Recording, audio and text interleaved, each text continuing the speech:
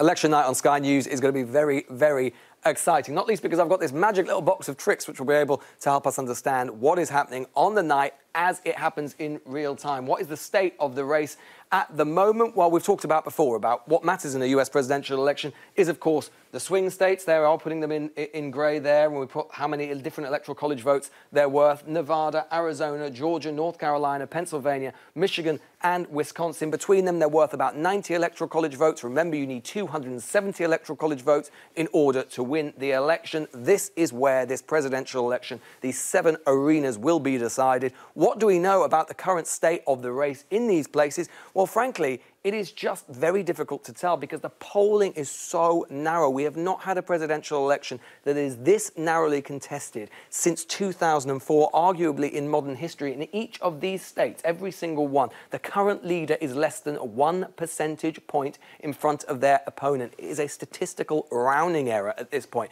But just for the sake of argument, let's take who is currently in the lead on the aggregate of those polls in each of these states just to see where it leaves us. So Nevada, Kamala Harris, narrowly in front. Arizona, a state that uh, Joe Biden won for the first time for many years as a Democrat, uh, Donald Trump is in front this time. Georgia, again, Donald Trump narrowly ahead in that state that Joe Biden won in 2020. Uh, Wisconsin, Kamala Harris is in front, and in Pennsylvania, again by an absolute hair's breadth in the Keystone State, Kamala Harris is ahead. Where does that leave us on this current map? Well, it leaves us with all that's left on the board, which is Michigan and North Carolina, two states where it's basically almost impossible to, stay, to say on the basis of the current polling who is ahead. And you can see that in this scenario, albeit it is just one scenario, you can see that if Kamala Harris won Michigan but lost uh, North Carolina, she would narrowly be ahead, and, and Donald Trump would have to win too. But to be honest, the point of this is to illustrate that there are different combinations different paths for either candidate, and each of them is extremely important, which is why enormous amounts of money is being poured into each and every one of these places. If you are a resident of one of these places, quite frankly, in a sense, Kamala Harris and Donald Trump, neither of them are leaving you alone right now. Let me give you another scenario, maybe a nightmare scenario uh, for both candidates uh, as well. Let's, um, let's, for the sake of argument, say that uh, Donald Trump wins in uh, Nevada there, and let's uh, see where we're at 270 to 268. So not much of a difference at all. We're basically just moving over Donald Trump, Nevada, into Donald Trump's column. You can see on the basis of this result, Kamala Harris narrowly wins, but literally she's on the nose. She's on 270.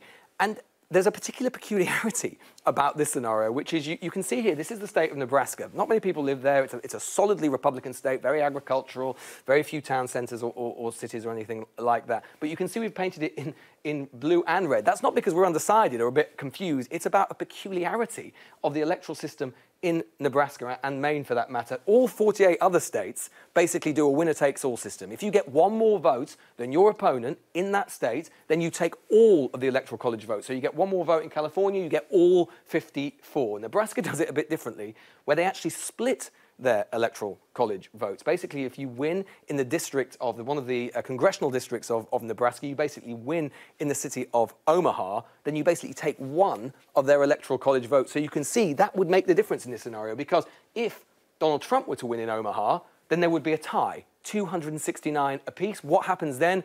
Well, then I'm afraid it goes to the House of Representatives, something that it hasn't, hasn't happened since the 19th, early 19th century. What else can we do with this box of tricks? Well, it's going to be very exciting because, of course, what really matters on the night isn't just about uh, the swing states, which we talk about a lot, but frankly, it's the like counties within those states. So we go back to the 2020 presidential election. How did Joe Biden win it? Well, we can look back at the data. He won by winning in counties like Maricopa County, which is the home of Phoenix in Arizona. He won there by uh, a difference of 45,000 votes. This is how you win a presidential election. You basically run up margins big enough in enough places, in basically places that most people will never have heard of, and just little by little, you eventually win the presidency. Other counties we're going to be keeping an eye on on the night. Well, let's go to Georgia, for example. All of these counties here around Atlanta, key places for the Democrats. And if they've got any chance or hope of winning that state, they've got to run up the table in counties like uh, DeKalb County there. These are all the Atlanta suburbs. Gwinnett County there again. Biden managed to just really get like 58.4% of the vote, 72.6% of the vote in these big urban centers.